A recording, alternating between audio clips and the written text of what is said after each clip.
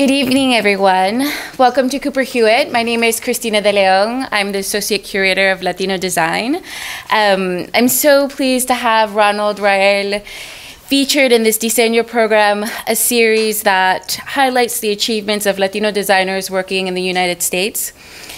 Launched in 2014, we are grateful to have the sustaining support of the Latino Initiative Pool and the Smithsonian Latino Center who have helped us continue this series.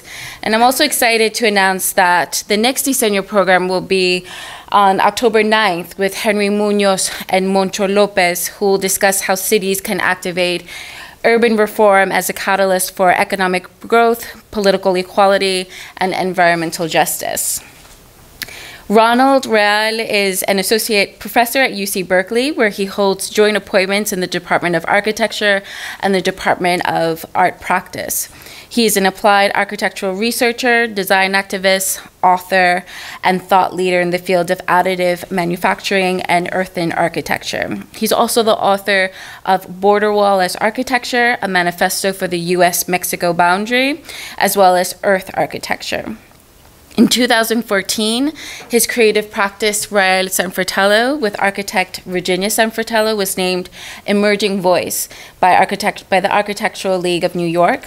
Together, they founded Emerging Objects, an independent 3D printing make tank specializing in 3D printing, architecture, building components, environments, and products the work emerging products, the work emerging objects has produced is truly exceptional in its creativity and innovation. And we're actually so lucky to have some of their objects on view now in the Senses De Design Beyond Vision.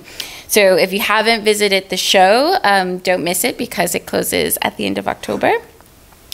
Following Ronald's presentation, he will engage in a conversation with Patricio del Real, currently an assistant professor of history of art and architecture at Harvard University, and previously he worked in the Department of Architecture and Design at the Museum of Modern Art, where he organized what I believe was really truly a a groundbreaking show called Latin America in Construction Architecture 1955 to 1980.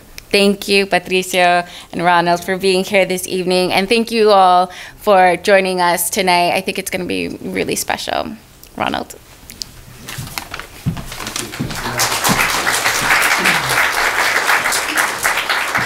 Thank you, everyone. Thank you, Cristina. Uh, thanks for coming. Uh, thanks to the Cooper Hewitt for the generous invitation to have me here for the entire day, also in a workshop. And many of you were in the workshop today, and that was a lot of fun. Um, I'm going to talk for 30 minutes about two bodies of deep research that I've been working on for the last 10 years, uh, working on thinking about the border wall that's constructed between the United States and Mexico, and also the project Printing uh, Architecture, which is about 3D printing with the goals and aspirations of arriving at, at architectural solutions using that technology. But I wanted to contextualize this a little bit about where I am from because it has implications in thinking about how this work emerges. Um, I'm from a very particular place in the United States called the Valle de San Luis, which is uh, historically the northernmost frontier of Mexico and, and, the Spanish Empire. It's also the headwaters of the Rio Grande River, which, of course, you know, currently defines the border between the United States and Mexico. Uh, but this was the border between the United States and Mexico until 1845. In the next three years, Texas had seceded the Union and claimed the land up to the Rio Grande. And that, va that valley was divided in half, with one side being contested territory, Texas territory, and the other side being what remained of Mexico. During that time, there was a militarization of that border, uh, very much so in a way that we see today, but there, through the construction of military forts and uh, trading posts, American trading posts that were piling up against the border, uh, perhaps in anticipation of a war that eventually led to all of that land now belonging to the United States. The architecture of these forts is incredibly interesting to me. There, it is architecture that I that I think is a hybrid between the conditions that exist, the cultures that, that were in conflict and living together and, and coming together and learning from each other. Uh, but this is an American fort constructed in Colorado entirely out of mud and and logs felled from the forest but very much a reflection of the indigenous architecture and later the Spanish architecture that came. So this is Taos Pueblo, not very far from uh, the San Luis Valley, just uh, just actually about 40 miles south, which is the built in the 1100s. And so it's it's this collision of cultures that for me is the most interesting and the, the implications of it, how it creates a hybrid between language, between cuisine, uh, and it, it is not always. Um, it is not always one without uh, frictions. And so, even in 1936, there continued to be a very perceptible border between what was perceived as the United States and something else. Uh, Colorado uh, declared martial law, the, gov- the governor did in 1936, and suggested that no one from New Mexico of Mexican ancestry could enter the state of Colorado and put placed border guards at the border between Colorado and New Mexico, despite the fact that New Mexico had long been a state at that point. And so they were returned back to New Mexico if they were found crossing into the border without proof of employment or proof that they were not of Mexican heritage. The implications are most interesting for me in the context of architecture and how the architecture undergoes a kind of morphology based on the, the kinds of uh, technologies that are introduced into the landscape. Earth, earthen buildings built in the 1700s, later transformed when middle lumber and rolled metal come in, and today that same building, San Lorenzo, is transformed and frozen to a kind of historic state where there's kind of strange structures growing off the entrance. It's cast in plaster. It's removed the roof and reverted to a kind of more uh, historicist uh, condition. Uh, and in thinking about my own house in the village where I grew up for seven generations, made out of mud, but I use it as a test bed to continue to teach uh, traditions of plastering with mud, uh, also making adobes, but also thinking about this in my practice as an architect for this house that we made in Marfa, Texas, that employs these kinds of historic technologies and, and current building practices, weaving concrete and earth together, making architecture in a way that takes uh, building materials from New Mexico and from Mexico, lower bricks or from New Mexico above or from Ojinaga, Mexico, because they were lighter and less expensive, saving cost in the wall, and not needing to bear such a structural load. Weaving them together in such a way that you can see the distinctions clearly between two building traditions, but also woven together simultaneously. Working in Marfa during that time, we also began to uh, be exposed to the political conditions of working on the contemporary US Mexico border, a landscape that in many ways is a binary between the United States and Mexico, or Texas and Anglo, or wealth and poverty. And we were approached to work on a project with two artists from Berlin, Elmgreen and Dragset, on a project that kind of walked the line between all those juxtapositions and contrast, uh, which was called Prada Marfa. And for us, that exposed another dimension of architectural possibility, one that is political. What does it mean to build a building in a landscape or an architecture or an installation that suggests a, a, kind of vehicle that is recognized for selling some of the most expensive purses and shoes in the world? Uh, in a landscape where the historic shoes were made out of the yucca plant, which is prevalent in the environment, in a context where people walk hundreds of miles until their shoes wear out uh, and they have to stuck, stuff yucca in their shoes to keep on going. It's a project that draws from Andreas Gursky's photograph uh, Prada as its facade, and this is the building, Prada Marfa, built along a desolate road in the West Texas desert, holding the 2004 line of purs purses and shoes, not open to the public, but hermetically sealed as a kind of time capsule in the middle of the desert. But even in the construction of this building, we wanted to demonstrate these relationships and juxtapositions because we felt that this was a future object of archaeology, one that would be uncovered, and maybe archaeologists would discover that within the building was present this tension between the very humble mud brick and cement mortar and this dialogue between the two, which the US military introduced into the border because they were very accepting of the brick, but not so accepting of the mud mortar. And you find that in the construction of the military forts that were constructed in Marfa uh, as, the, as the base to protect the United States along the US Mexico border. And later you see these same buildings housing Donald Judd's uh, collection of minimalist work in Marfa. Another outcome for us was the notion that uh, these objects could become cultural objects. The buildings could become a cultural object. And what does it mean the moment that these transcend uh, their own visits, but move into the realm of Instagram, for example, and the selfie. And so when uh, Beyonce made this jump in front of Prada, it became the kind of signature thing you do in front of Prada Marfa if you ever visit there. And so for me, the borderlands were both a context in which we found uh, two things.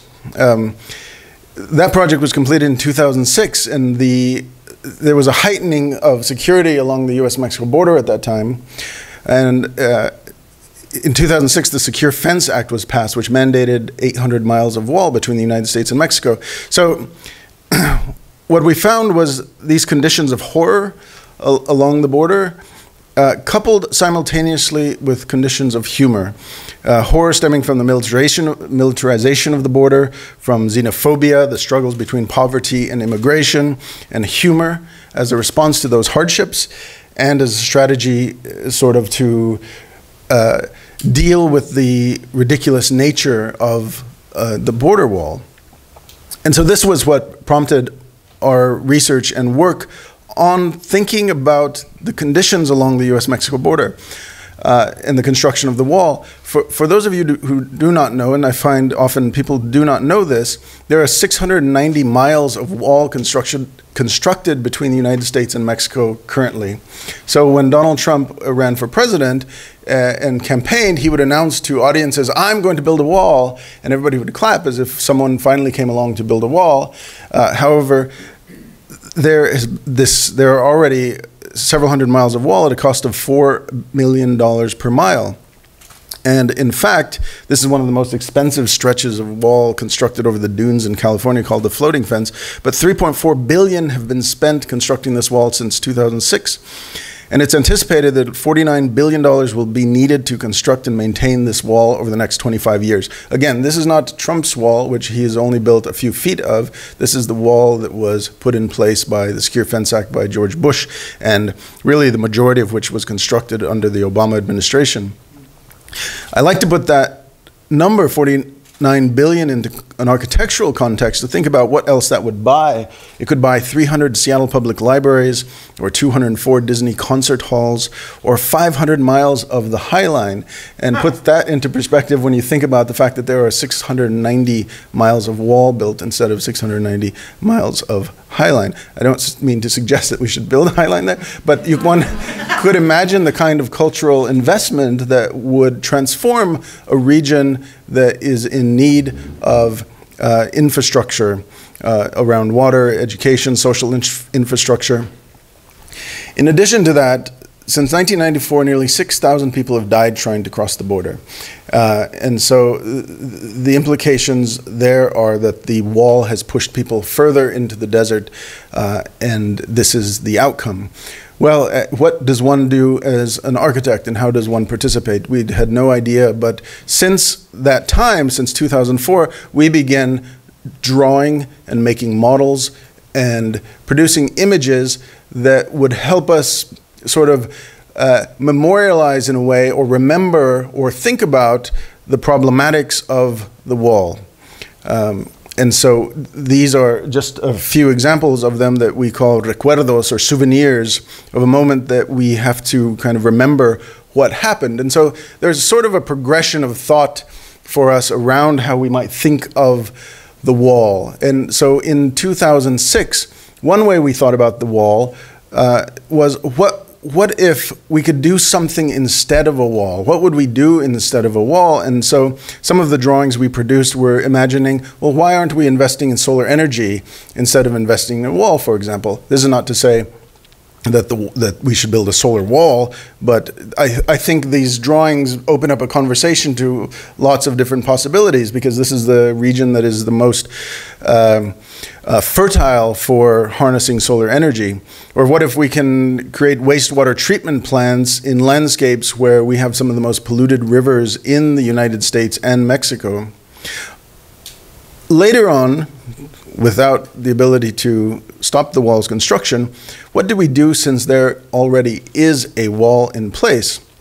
And this has been a question that uh, is sometimes controversial, but if there is a wall, does one participate in thinking about construction in and around and on and the wall itself? Uh, so we produce drawings of, of uh, life safety beacons that should be constructed to prevent deaths, that store water, that clean water, that alert border patrols so that they could possibly save lives, of thinking about transforming the uh, really uninhabitable zone between uh, El Paso and Juarez as a place that is an urban park on both sides of that wall that has been in place for a very long time, even prior to the Secure Fence Act.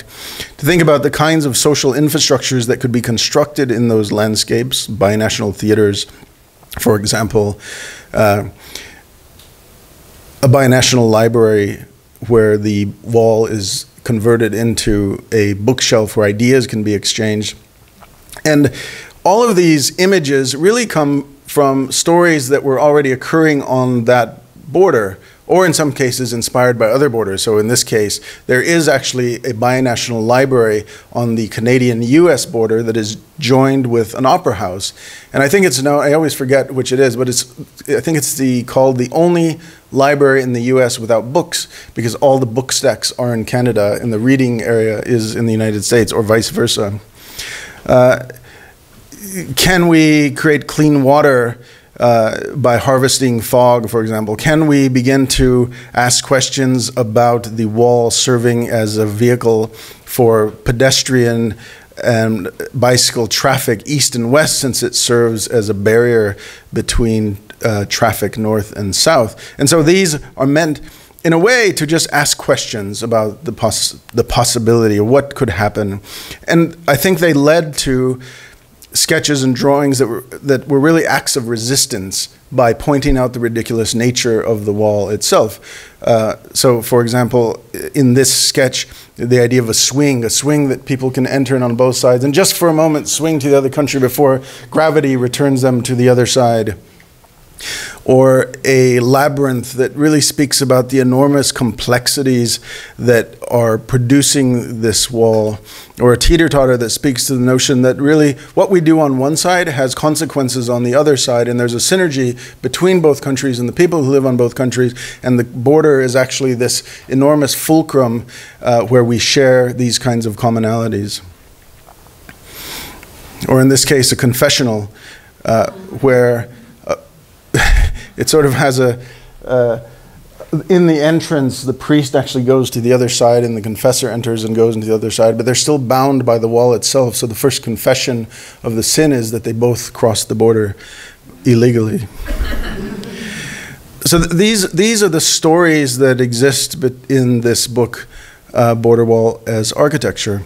And, uh, and these are the, the, the products and objects from that exploration that tell the histories and and so just to briefly tell of the few of the stories that are within here that accompany these stories about the origins of the oldest sport in the world played with a rubber ball where uh, players from each side keep the ball in the air hitting it with their hips and and sending it across a imaginary line in the sand a, a very kind of violent game where people actually die because the balls the ball is so heavy and relating that to the playing of, of volleyball, uh, a binational game that's been played since the 70s to celebrate binational identities and uh, people coming together. So the wall, in many ways, has served as a vehicle to bring people together despite its intent to separate people.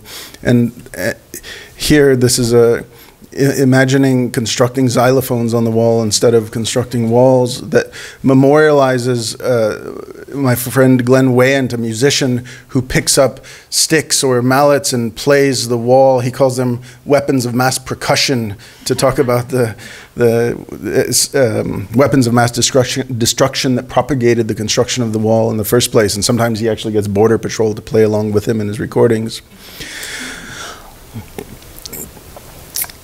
On one side of the wall, it may look like this someone mowing their lawn uh, in a domestic environment in the United States.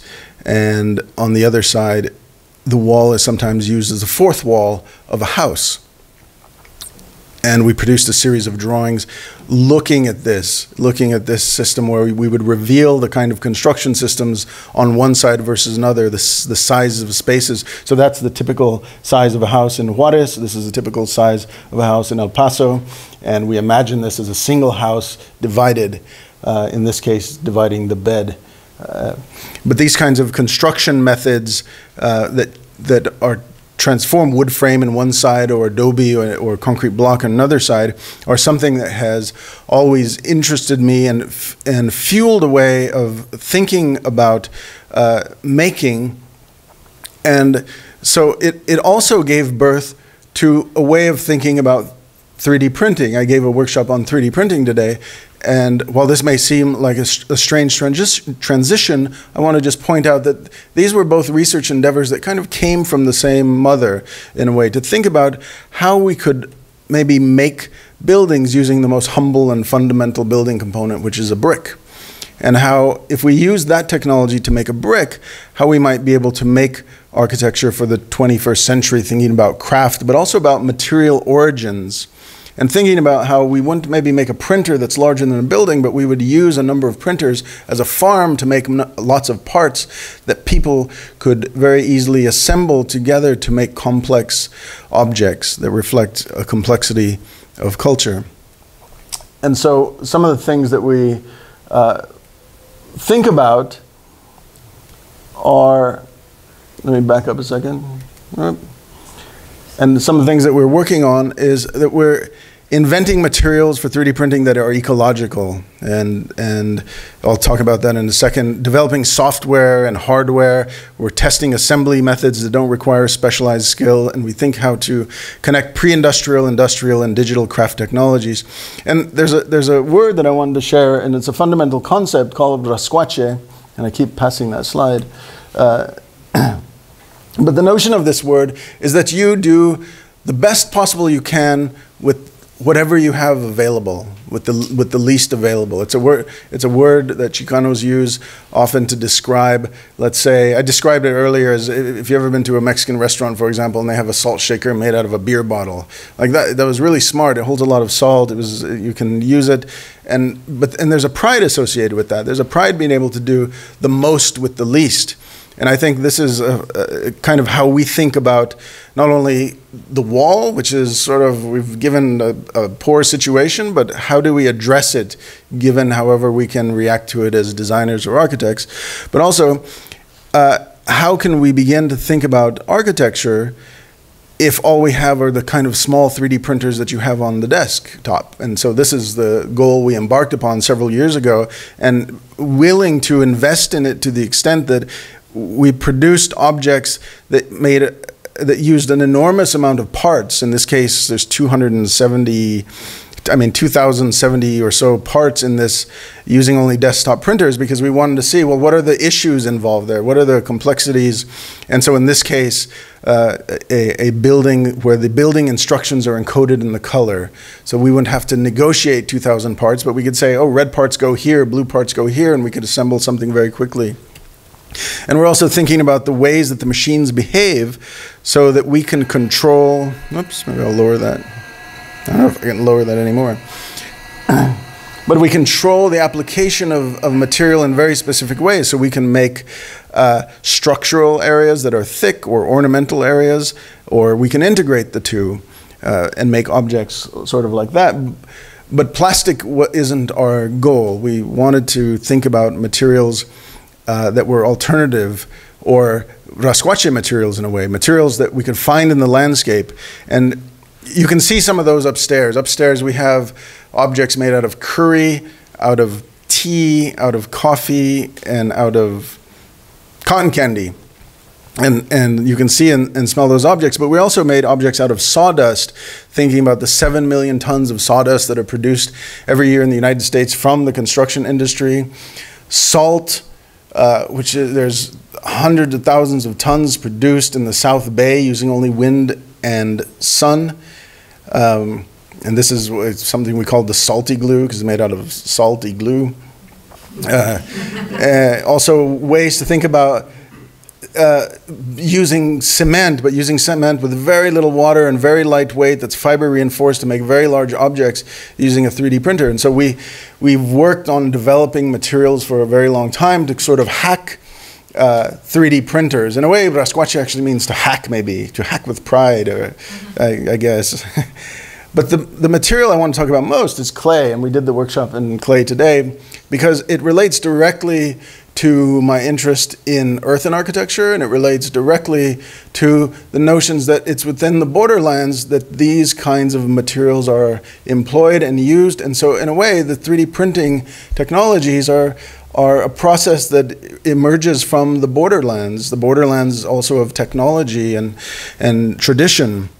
And how could 30,000 years of additive manufacturing by hand by humans transform into a contemporary practice uh, of ceramics, for example? And so these are some of our earliest pieces from 2009 when we first embarked on 3D printing clay and realized, oh, we can put them in the kiln and fire them. And what does it mean for these objects to last another 100,000 years when archaeologists find them in the future? What kind of meaning could we embed in them? And what kind of meaning do they have implicit in their materials itself? And what would we make with that? Would we make bricks that insert themselves into traditional brick systems and they could hold water or plants? Could we embed air pockets and make kind of insulative bricks in some way? Would we look at past traditions like these evaporative, uh, traditional evaporative coolers where you would set an enormous porous ceramic vessel in a window in an arid climate and when the arid air passed over it, it would humidify the air and enter into the space and lower the temperature of the room on the interior of the building. And so we took that technology and tried to encompass it in the making of a single brick. A brick that had two levels of porosity a micro porosity that we could calibrate with the material system itself and the 3D printer so that it sucks up water like a sponge and holds it, but also another level of porosity where air could pass through and thus humidify rooms. And we call this the cool brick. And it's a, a brick that has this relief so that there would be areas of shade on the wall that, so you wouldn't hasten evaporation, but also could be held very unapologetically in any kind of mortar that holds the brick together. So these are our prototypes of the cool, the cool brick wall. Some of the machine behaviors that we explored on clay uh, allowed us to make things that we never thought we would make. Uh, objects like this, where it's just pinching off each layer of clay as it goes around, so it's kind of like a cactus or something.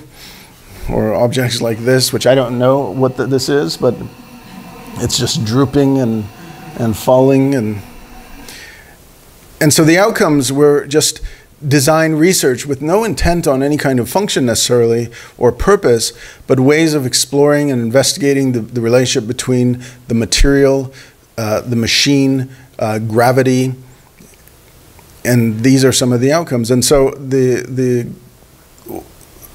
you know, sort of pushing the limits of what's possible, possible in terms of texture. And we saved every single experiment we made uh, just as a matter of habit, arriving at a body of knowledge that would allow us to further explore these in the making of uh, architectural applications. In this, in this case, thinking about how we can make wall cladding systems, for example. And these were a number of the early explorations in ceramic wall cladding systems. So using only clay and water and fire to produce a building skin potentially that could last uh, a lifetime and beyond.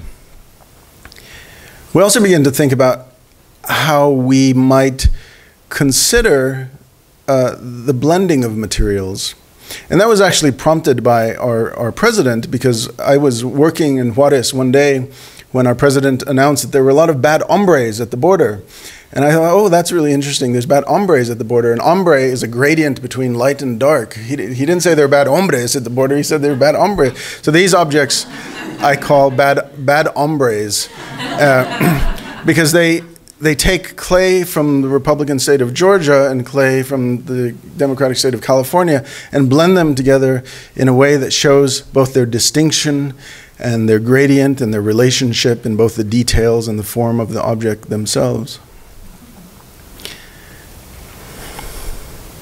Thanks, Prez. but we're, we're always thinking about how we might make architecture. You know, these are really experiments for us in scaling up. Not to say necessarily that these become buildings, but yes, to say that maybe those could become buildings and how would that be possible? We had to embark on thinking about making software. And uh, some of you got to play with that software today. Uh, and this, that software, which we call Potterware, is designed for making pots but really, the underlying basis for the production of this software was so that we could control a machine, because we also realized we had to make a machine. And we made a machine uh, that could do a number of things. One, it could produce a bunch of pots. So, and all of a sudden, we moved into a world where we could make hundreds of objects with a single machine. But that very same machine became a machine where we realized we can make really big things. And so the idea of this particular machine in contrast to many who are making machines to produce architecture is that their machines are often bigger than the architecture it makes, just like a 3D printer. But ours was intended to be smaller, that you could pr print a room, for example. Um, and so we also had to think about how we could have a continuous delivery of materials. And so then it's in a tube, but uh, a year and a half ago, this is where we were. This is a human 3D printer. Uh, and so we're just trying to push clay, and so that's that. But as of uh, just a few weeks ago, here's where we have arrived. We've arrived in a place where we are now uh, able to just shovel in as much material as we want. In this case, adobe. So this is clay, straw, and water into the machines. And so we've scaled up. So fundamentally, this machine uh, can, can print a room.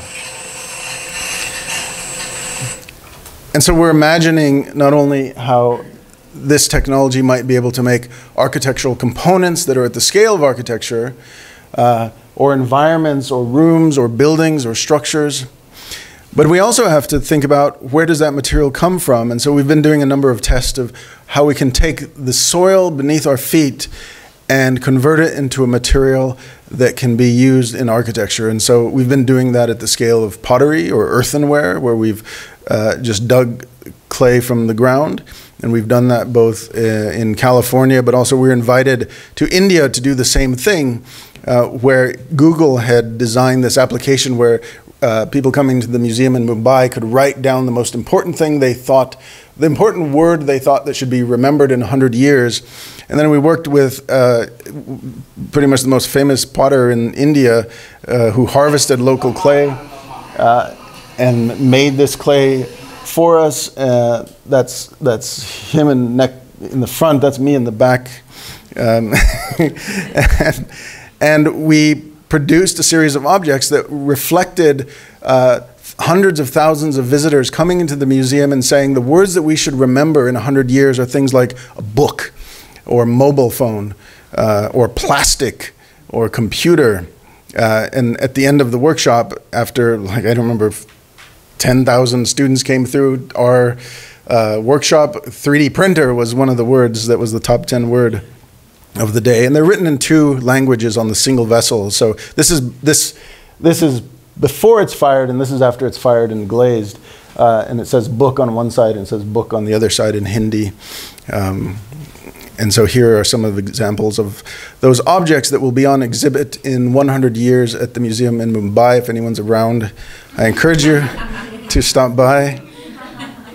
And we're also exploring uh, ways of thinking about how to combine uh, some of the traditions and experiments that we're doing. So in this case, uh, uh we call this a jacal uh, digital. And uh, I see a student, we've worked on this a long time ago, and so now we've, we've made this structure where it's semi rigid, but we've applied the mud to it to make it even more rigid. And, we've, uh, and so you can see it under construction. And once that mud dries, and you can see it kind of quivering, once the dry, mud dries, it gives it its ultimate rigidity. And so there's a tradition of, in New Mexico of making uh, structures, and actually all over the world, you make them out of a, uh, uh, a plant material, like branches, and then you plaster with mud. This particular material is a plastic made out of corn, and then we covered it in mud, and this is the, the outcome. And so that same research that we didn't know what to do with, that wiggly research, gives this its structure.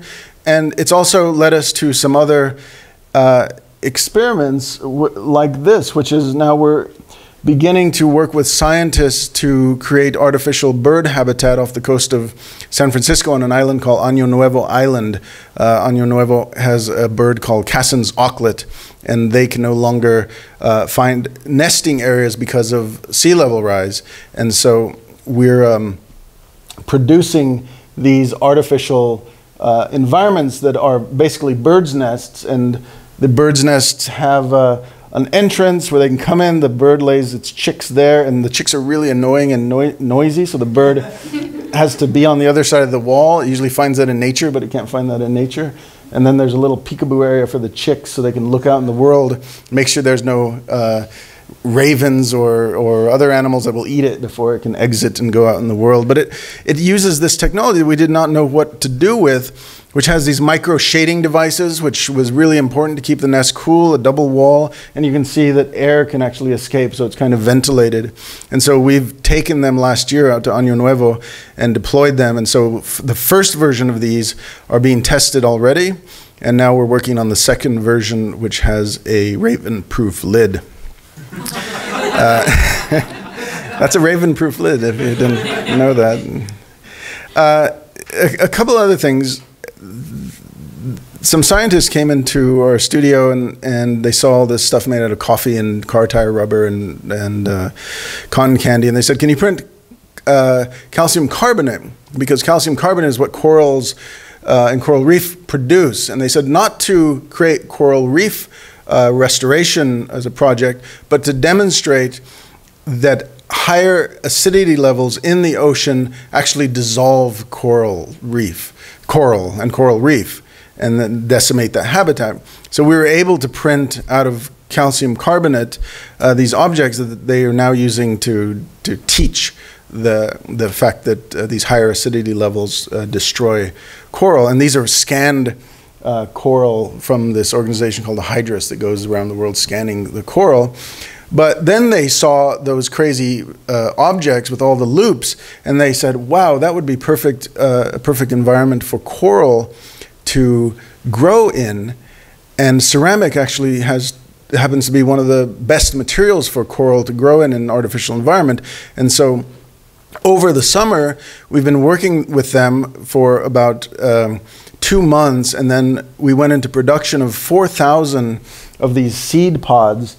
Uh, this is one example of them, and this is another example of these shapes, both print, 3D printed out of ceramic using different techniques where scientists are using them in these test pools in the ocean in in um, in Baja California, in Australia, in Guam, uh, and they're they're working. So the coral are attaching to them, and it's pretty exciting to see these environments being tested in nature. Um, and and so we're not only thinking about, of course, um, environments for animals, but also environments for humans. And so we've taken a number of these technologies uh, and, and, we did this project called the Cabin of 3D Printed Curiosities, because basically we took all the things we learned over the last 10 years and began to couple them together.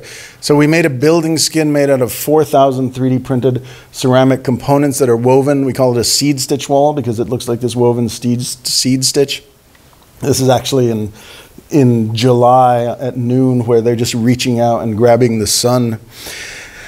Um, and thinking about well, what's that building system like uh, as a 3D printed building system? What do they hang on? Do they hang on uh, a 3D printed wall backing? Uh, we also at one point did a project using Chardonnay grape skins, and you can see some 3D printed Chardonnay cups made out of Chardonnay grape skins upstairs. But we made this facade out of Chardonnay grape skins and sawdust and cement, and it holds succulents uh, that do well in the Northern California climate. And this is really a test bed for us to test our materials outside, their longevity, uh, how well they work in the sun. And so this little uh, cabin of curiosities is nestled in a backyard that's a response to the relaxation of zoning in the East Bay because I don't know if you're aware, but the, San Francisco has now surpassed New York as the most expensive place to live in the United States. And uh, so this relaxation is to uh, allow people to build up to 1,200 square feet without going to the planning department or employing an architect. And so uh, to make these secondary uh, living units in the backyard. And so we did this in a response to that uh, condition uh, as a realm for experimentation. And so this is the 3D printed cabin of curiosities. The interior has a translucent 3D printed skin that is backlit with LEDs, so the colors can actually be set a mood. You can see what it looks like in the interior but the almost everything is 3D printed. The furniture, the coffee table. You can actually see the coffee. What's upstairs is on the coffee table right there. Whoops. I think it's a copy. Um, uh, so the Chardonnay cups and the coffee pot and coffee cup. Um, using that same kind of software technology that we're working on. This is the interior at night, backlit, not with a color, but with pure white. And it transforms into a sleeping area as well. And it kind of sets the, the mood of the house uh, right before one goes to bed. Yeah, I like to sum up with this slide. I think it sums it up best because I often think that rather than seeing building with earth and clay and 3D printing is two sides of a, of a technological spectrum. I, am interested in, in bringing them together, and I think my goal is to think about how we can make work that bridges the borders between art and science and architecture and culture and politics with implications in craft and sustainability. And I think that one way of looking towards the future is actually look, looking at the past and seeing what we've done. So thank you.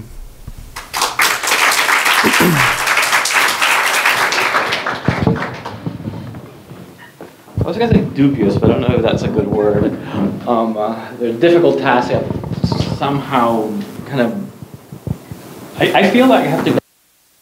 I don't know. I don't know why. I don't know if I have to. Uh, I just have to like ask you silly questions, or ask for the um, the help of the audience. Um, uh, um, in trying to sort of make sense of, uh, I mean, well, it's truly an amazing production, right? Uh, can you hear me? Yes. Yeah. Um, um, uh, so um, there's no doubt in my mind of the high quality of uh, the work uh, that we see, and also the so um, the, the, sustained uh, inquiry at so many many levels that it's very difficult um, uh, to just grab one strand of what we see here to try to weave a coherent sort of um, understanding on what is it that you're actually doing, all right? Because it seems like that you're doing so much. Um, um, so maybe basically to start very, very in the most um, sort of basic or pedestrian aspect, um, uh, can you talk a little bit about collaboration? How has this sort of research that you've done um, uh, sort of affected the way, um, uh, because you also teach, right? Um, uh, you approach design or thinking sort of about design, not only as a practice, but also as, also as what I assume is a collaborative practice, because we only see you here, but I wonder who's behind all these. I mean, when we see the images of traditional buildings, we always see a community building, right? But when we always speak about these things, we only see one person. So I'm always wondering, well, okay, um, uh, within these new practices that we are claiming to be um, uh, more um, accepting of uh, diversity or difference, right? Um, uh, do we we need a the whole panel of everybody here? Do we bring the community? Are you the community? I'm not. I'm not the community. I mean, to you know, to to kind of reveal like that. It, that certainly no one person could do this all by him or herself. And you know, I, I have a I have a partner, Virginia San Fratello, who is my collaborator. I, I would say that we are the people who instigate all this work, uh, but it's certainly not. Uh, the people who produce all the all the work. We have uh, employees uh, I'm, I have a position, as does she, at two different universities, and so we also have uh, graduate and undergraduate research assistants. Um, we have the, the wealth of knowledge from the university itself, and anywhere from clients to fellowships to grants that allow us to produce the work, often in collaboration with scientists, um, um, uh, material scientists, material experts, and also in the case of the, of the machinery, a, uh, a, what I would call an industry partner, a partnership with someone who I approached uh, several years ago, uh, and we found a synergistic, symbiotic relationship because uh, he had just started working on these printers, and I had started making crazy stuff with his printers that got attention. So more people started buying his printers, and he said, "Hey, print more stuff, sending me printers." And then I said I have this idea for a big printer, and he just said, well, let's build it. And so, the, so there's, you know, there, there is an entire too numerous amount of people to mention uh, in the. If you go to our website, emergingobjects.com, you can see the list of all the people who collaborate, and sometimes it's enormously lengthy. So there's a, there's a machine behind this work uh, and, and a community behind this work. Not that you need to come. It just struck me in your presentation that you know there's there, there it seems that their particular fields are very interested in this work. Um, but it, it, struck to me, perhaps, and maybe I'm wrong because I'm not an, an expert and I'm not engaged in what you're doing um, to great detail. But it doesn't it doesn't seem that the field of architecture um, is actually, or the production, the building of buildings yet. Um, are you seeking collaborations with a with that field also? Um, well, the, the way I would approach that answer is that we we have aspirations to integrate into the field of building and construction. Mm-hmm. The field uh, of construction. The field of construction, like, yeah. yeah. Uh, uh architecture and construction, I meant to say. Mm-hmm. Uh, and, but there are, there are frictions there, and some of the frictions are really pragmatic. Like, uh, for example, we get lots of inquiries from the building industry saying, "Okay, we want some of those those 3D tiles that you make. Uh, how much per, how much do you charge per linear foot?" And this is not a linear foot question because we're thinking volumetrically. We have to charge volumetrically. So, what kind of design do you want? How thick do you want it to be? What kind of pattern? This is talking about machine speeds now, and this is all language that builders don't don't use right now. They they say, okay, by linear foot, if this costs you know tile or flooring or or by the square foot. But when you talk about volume, uh, it changes the game and so those are those are often the that's often the resistance. But the way that we're, we're aspiring to enter into this is maybe on two fronts. One, we recognize that th- this stuff is expensive. It, you know, it's like if there's any architects in here, it's like Bisazza tile expensive. It's, it's, exp- it's, it would be expensive as cladding right now, even though what, what I think we have done and what our main primary innovation is, is we've lowered the cost of this. So it used to be that you could buy 100 pounds of 3D printing powder for $3,000. And we wanted to question that, and we can make 100 pounds of 3D printing powder for $40. And so, but that's really expensive to make wall cladding, right? But it's, it's within the realm of that right now. But on the other front, we want to approach ways of thinking about how using recycled or upcycled or sustainable materials or, or traditional materials can help us move into that realm faster. Hmm. Uh, and that has implications in thinking about uh, building for different uh, economic groups as well. So, so I, I want to pick up on this notion of the, the frictions that you've encountered, um, uh, even the realm of language, how maybe even the, is the realm of language, which you know, today is a, a highly contested um, uh, uh, and politicized field, but we won't go into there uh, yet. Um, uh, every, every, time I hear, not necessarily you, but also have hear, heard you, um, uh, um, hear these kind of presentations, they they start you know, they start to verge on, if, if I may, into the heroic. Uh, into these kind of grand sort of uh, forces of, of, research, of science, of investigation, of, of humanism.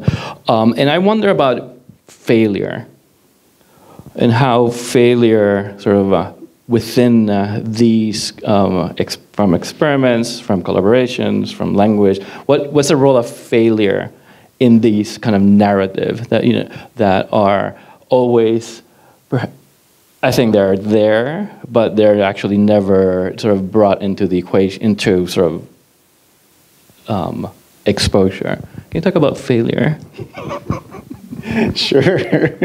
How much failure have you had? Where, where do I begin? What's the most? Where do I begin? I don't know. I don't know how many people attended the workshop today. That's a good example of failure right there. Like, I, I, I was a little bit. So the machines were not working. The, mm-hmm. I mean, basically, you experienced a week in my life compressed in two hours. Like, like you know, I, I, had to step out for a moment and take a deep breath and call somebody. So like, what is going on? Because I could not figure this out. But I, um, I, I would say that where failure is most present in this work is my luxury as an academic and as a researcher to take enormous risks and along the way there's an, there's enormous amounts of failure right? They don't don't show all the failure. And in some cases you're seeing the like those objects the that's the wiggly objects where the droopy clay and so that all emerged out of uh, out of failing. And we we saw today in the workshop where you know we're at least I was very nervous and we were printing something and it had gone up an inch and the person said, Oh, that looks ugly. I think I failed. And then we let it go for another 15 minutes and realized that the repetition of that uh, horror all of a sudden turned into this beautiful object. And, and so, in, in a way, I think this is what's happening. I mean, it may sound heroic, but I think there's, there's patience. Uh, this, is, this is the work of 10 years. This isn't the work of, of, of, of pressing a button. And so, the, I think we're just seeing in the accumulation of failure, and we're seeing in both, you know, in, in this in this really, I love this photo, and it was taken by Matthew Millman, who's a very well-known architectural photographer in the Bay Area, and throughout the world, actually. Uh, hidden in hidden in that is, is, are so much problems that maybe only I can see uh, and that I have to, and that I don't want to tell you about because they they kill me inside. But but I think that's the thing. I can I have the luxury to take risks mm-hmm. and and fail, and from the failure emerges some some promises that I think I'd like to continue with. But I think it's very important because I mean the, the, these type of projects are based on what you say the possibility of failure, right? That is not um, uh, it's not something that everyone can can take. Um, um, so, um, so, for me, um, those hidden histories, you know, the, the, alternative histories that are behind these, you know, these um, highly elaborate, highly eloquent, um, and I mean, truly beautiful, beautiful assembly of parts always I always wonder, say, well, okay, but you know, where were where were the failures, right? Where, where, where are the limits of these type of productions? You know, it's when we start talking with shifting into the, the realm of architecture, right? Into into the demands of an established um, construction industry. You know, I do wonder, well, what is what are the limits? What are the limits of these nascent technologies, still a nascent mm-hmm. technology, mm-hmm. uh, right? And how um, those limits are sort of negotiated in a way. Like for example, I cannot you know but point out that you know that the the the need for the hybrid, as you mentioned, right? That these things are actually hung as element, right? Um, um, um, and try to sort of negotiate sort of that as a tactic of uh, producing these new technologies. And, and, and, and I guess I always wonder, I've always been fascinated, and maybe there's no correlation to this, but um, you know, late in the 19th century, um, when um, steel um, and iron was being sort of introduced, you know, uh, we have these, these, these kind of attempts to um, incorporate these new technologies into um, into architectural works, into large works or small work and design works, right? And suddenly um, it produces a highly decorative sort of um,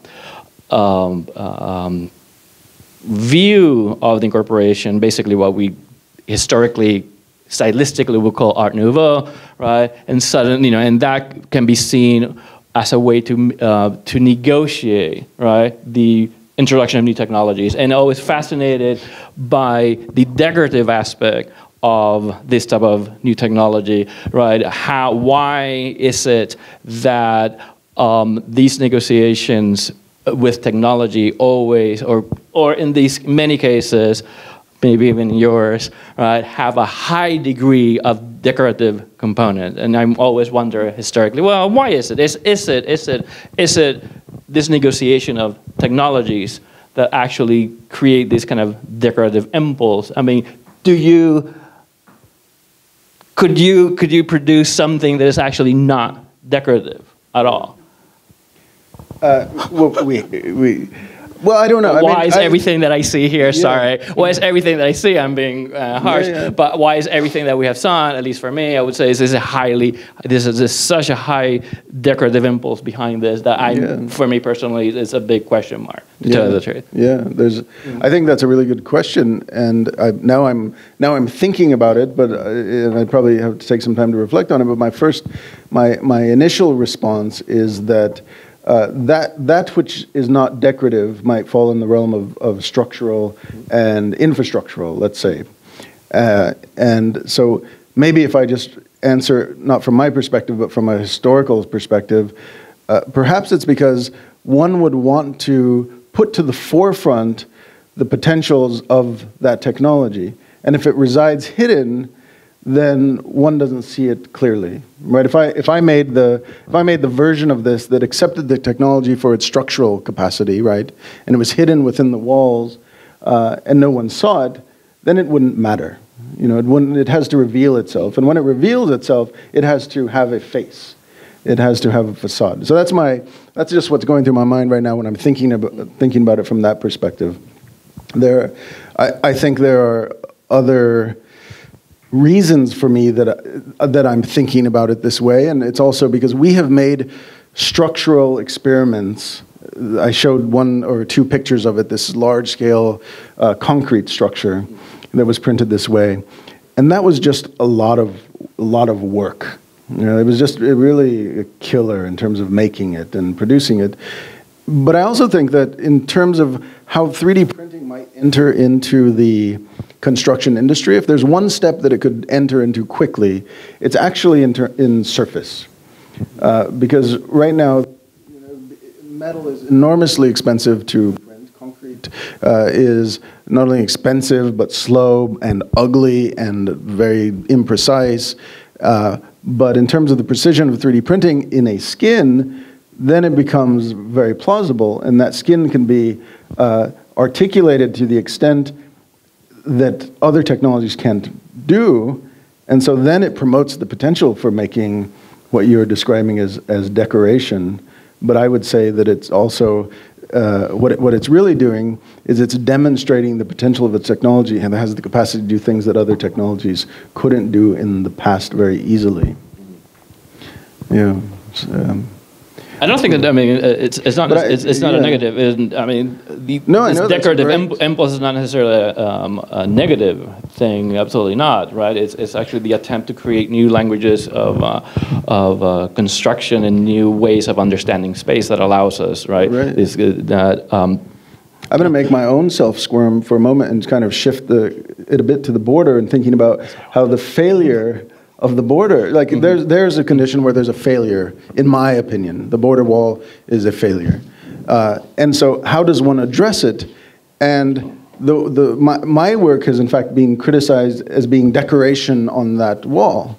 Uh, fine. I, I, I, accept that. I think there, for me, there are, there are deeper implications of the work that are really talking about a conversation and not a proposition, if that makes sense. I'm not trying to put pearls on a pig. What I'm trying to do is say, here is an issue, and let's talk about it and think about it. And the images have the capacity to hopefully allow us to have that kind of conversation. So, in a way, I think both failure and decoration kind of transcend both projects.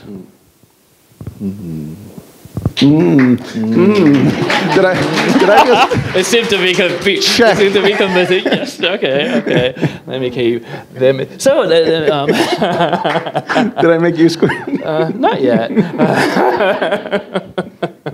um, so, if, if such is the case, then I would like to uh, ask. So, why have it maybe may, maybe I haven't seen it. Maybe it's there, but why haven't we seen uh, a project that engages um, printing technology for the border? In uh, is why didn't? Hmm. Why why didn't I? Yes, because. Yeah. Um, there, there, I am working on this project, in fact, and I realized when I went through this, I left out a very important slide, a couple of slides. but uh, I, ha I, have been working on a project that uh, builds upon getting local soils, uh, but in this case, collecting soils from both sides of the border, living up to the bad hombres in a way that, you know, I thought the best version of that was if we could get soil from Mexico and soil from the United States and print these objects that were a reflection of that relationship. And we, we in this summer, we collected soils all along El Paso and Juarez, and I was really bummed that I left out that slide. Uh, but we just test fired them and the range, just within El Paso and Juarez, the range of complexions of the soil was amazing because it was almost like you could think about it like skin colors or you know from from white to brown to reds. And I, just, I actually couldn't believe that. And so we are returning to Juarez in uh, October to take that big machine that makes adobe and at the site where Chihuahua and New Mexico and Texas meet, so these three states meet in this one place, there is a building called Casa de Adobe. And this is the, the building in which the uh, Mexican Revolution started. It's an adobe uh, structure. And so in October, we are going there to Casa de Adobe to 3D print this enormous adobe structure. Uh, so there, now, I mean, this was never, uh, you know, in some ways, these are two sisters of research that are born from the same mother, but now we're realizing we're seeing the, this, the common genetic code that's starting to stitch them together, I hope. Yeah. Is it going to be a beautiful intervention? Sorry, I couldn't resist. That, you know, even. Uh, be, if, be, if, be, be careful how you answer. Okay, I think I got this. Yes. Take your time if we think about design beyond the visual sense, then maybe I hope it is because there's there's a poetic behind it, there's a history uh, behind it, there's a there's a technology behind it that might might transcend the the visual. I would like to think that we can address the visual sense in design. But you see where our technology is, right? It's I don't know. You saw that thing going and spitting out those balls of clay. I think that's pretty beautiful, but also that could be perceived as other. I don't. That's where we are. That's a state of our art, and um, hopefully the it's it's the the layers of meaning that make something beautiful. So, since we're at the border in, oh, but I wanted to open it too. One more question, and then we open it. Oh, okay, good. Yeah, because I want. Oh, yeah, it's like. Um, uh, Eh, well, we can just open it. Let's just open it. We. Let's open it. Let's open it. Yes. That'll turn. Okay. Since you you answered the beautiful question quite beautifully. uh, the talking of layers of meaning, I think the objectification of the landscape is really fascinating, and I was just wondering if you've explored polluted landscapes uh, as a medium. Um, have we explored polluted landscapes as a medium? I mean, I've definitely thought about them. I've thought about how you could take uh, unremediated soil and uh, use that in, in 3D printing. Um, I haven't I haven't done that I haven't done that yet, but I think about it. I think about what it means to move into a landscape and what it for the objects to have an uh, an embedded residue of its history. Uh, yeah, but I'm I'm happy that you reminded me of that. Thank you. I mean, while the microphone's being transferred, I, I would say that in a way, the, the sawdust, for example, or the car tire rubber, or these kinds of materials, these, these are landscapes. These are landscapes from the landfill uh, often, and so we're, we're getting that material and we're upcycling it, for lack of a better word, into something else potentially. Yeah.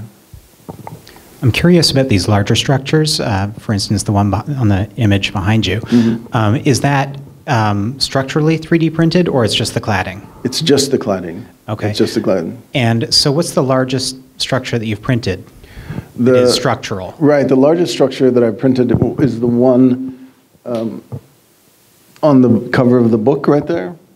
So that's a structural object, uh, and it's made out of um, uh, fiber reinforced iron oxide free Portland cement. Iron oxide it sounds fancy, but it just it just makes the cement whiter. It's used in swimming pools and that sort of thing. And, and you say that these are um, basically impractical financially. Um, except, or you know, in the Bisazza territory. Yeah. Um, so, um, for some, can you can you put a, a figure on that just to help us understand what that means? If you were, you know, to to produce something of that scale, what does it what does it cost, and how long do you think it'll take before that technology becomes affordable? What will it take? Mm. You know, the, it's it's a question that I'm trying to answer a lot because we get approached to do this. I'll, I'll be very transparent and say that uh, this particular project, the making of this particular project, kind of fueled a lot of this research by the fact that it helped me produce a laboratory, and so uh, this was sponsored by a Thai concrete company who said, Could you make a formulation with our material? And they sent me the material. And if so, we want to make a demonstration that one can 3D print using our, our material that we mine in Thailand. And so they sent $150,000. $150,000, I spent um, several months finding machines on eBay and hacking them, uh, hiring graduate uh, students to help me press print and to process these the materials and and so that that from start to end took a year and $150,000. Now that said, you know, the, to put the lab, to put the pipes in place, that was a long process just to make the lab itself. So that was half the battle. I think now if someone came and said, well, make this again, you know, it, it would probably be a, a, a fraction of that uh, because the infrastructure is in place. But that was the that was probably the the big investment on on that front. Some other, you know, some of our other technologies like making the walls out of clay, which are not structural. Um, and, and even if we did make them structural, like with 3D printed bricks, for example, I think that could be pretty reasonable because the robot's doing a, a, bit of the work and, and it's just clay. And so that, that starts to move into interesting territory because now we can use this machine to say, let's make a bunch of, I'll call it quote unquote bricks at a time. And we have a delivery system where we don't have to stop and fill a tube and put it back. And so I haven't had the opportunity to test that yet, but I think that the prices would go substantially down. Yeah.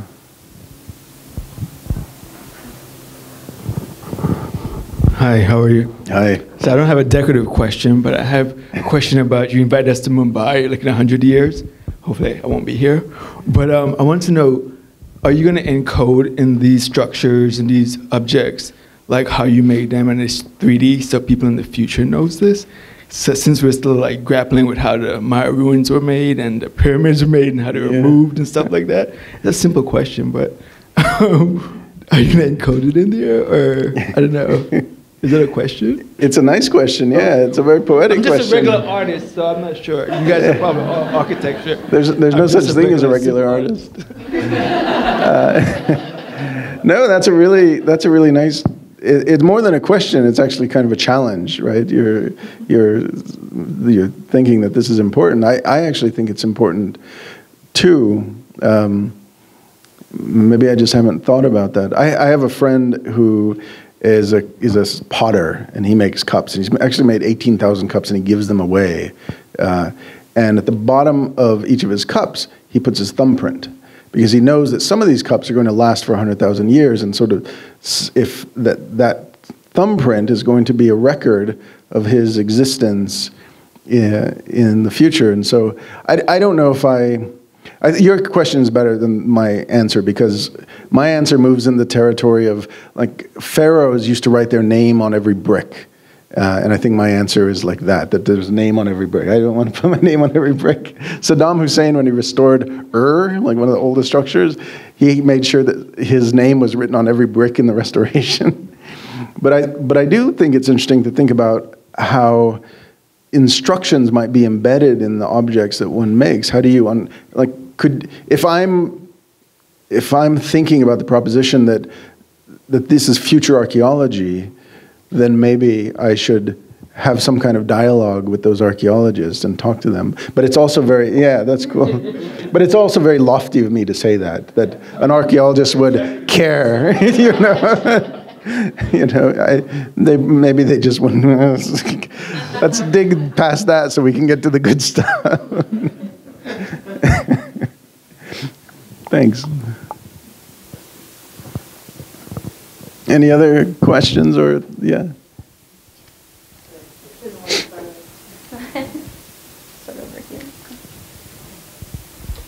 Um, you said you've studied, obviously, you've studied the Mexican border wall, and it's something that's kind of really interested you as a kind of point to kind of jump from in terms of exploration and design. Um, is there any other project or kind of tension that you see at the moment that you would maybe consider as your next project? Are you done with the Mexican border wall, or are you still kind of are you are you still pushing to kind of develop what that means? I think in, in regard to the wall project, it's it's evolving, and it's taking me in in directions that are unexpected. I'm pretty interested in, regards to the wall. I'm I'm interested in a project that accepts that there's no wall, or that imagine there's no wall, which I think is the fundamental big question. Like, what happens if a president comes around and says, tear down this wall, and this wall comes down, what then? I think this is an amazing opportunity for designers because one has stitched together ecologies and cities. For me, that's, that's an enormous project, one that I don't think I can take on by myself, but one that I'd actually like to unleash on students to say, if the wall came down between Juarez and El Paso, what does that city look like? How is that city a possible city? What is that world? Uh, how can we imagine and propose those worlds? So that's, that's one.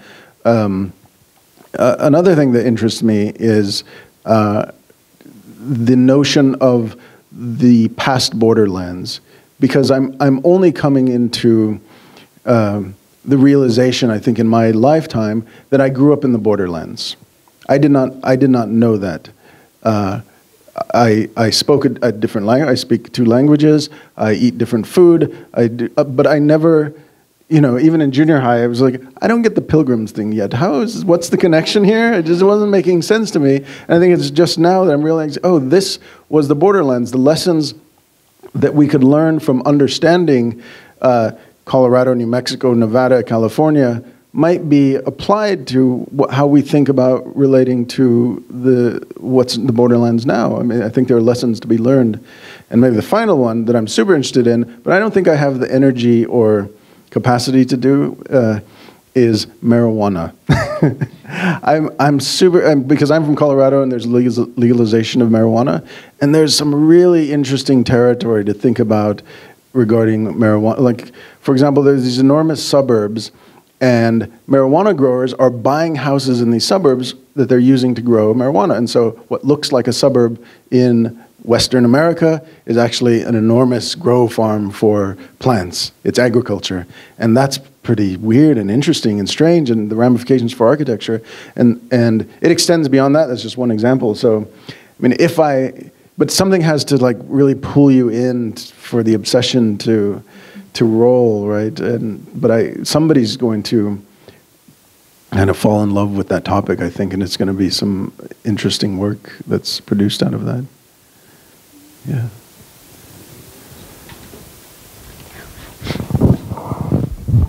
Thank you. I want to thank the Cooper Hewitt for hosting us this evening.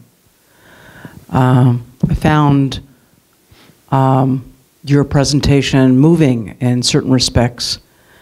And I say this as a Canadian who grew up in New York City, who is in Rio de Janeiro, and as a tourist. And uh, I remember seeing the slums as I, uh, as I was a tourist.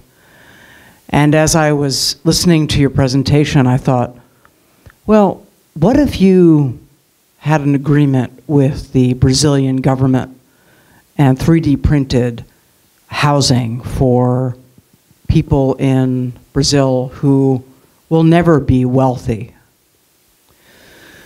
So I didn't expect to ask that question, but that is my question. And um, thank you for Yeah. your. Uh, your um, your your perspective this evening. Yeah. I, I didn't expect to be as moved as I was, and I say that as someone who grew up here. I'm I'm a I'm a New Yorker, even though I'm a Canadian. So I'm sometimes nice.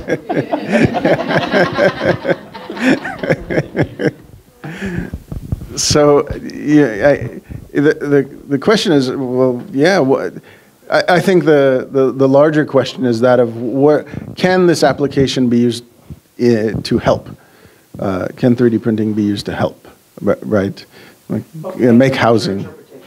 Well, you're saying that if the Brazilian government hired you to make housing for people who couldn't afford housing, uh, right? I, I think that would be that would be fantastic as long as um, I was able to produce something that was better and that could help. You know, I'm I'm not entirely convinced by my own. Uh, you know, for me, this is research. Like I'm, I'm questioning it constantly, trying to figure out: does this work? Does this not work? How is it failing? How is it succeeding? And so I, I can't make any promises or or claims. I'm actually not as heroic as you might have perceived. I'm, I'm, but I'm, but I'm optimistic about it. So am I, am I optimistic that the technology might be able to be used for that? Yeah, and I, I would, I would love to do that. I think that would be great. You know, I often reflect that I went to school be, to become a, a doctor because I didn't know that when I went to college, I, I wasn't on a college trajectory, and I thought, oh, if you go to college, you either become an engineer or a doctor. Which one do you choose? I said, uh, doctor. And, and so I didn't do so well, but um, I think I went into that realm because I was interested in helping people. So uh, I'm, I'm trying to find that path by which architecture can actually serve uh, a kind of a social agenda. Uh, and so I, that, those, those are my underlying aspirations. So, um, yes. okay, make a call. Thank you. One more question. If there's one more question, maybe? That was a nice, yeah. Sorry, so this is the last question from another Canadian, and it's actually one who is a pharmacist who thinks that this is the most interesting thing in the world, right? So I have no artistic background, no architectural background, so it's a very personal question based on what you just shared with us. How did you go from going to college to be a physician to this? How, how did you make the change? Like what?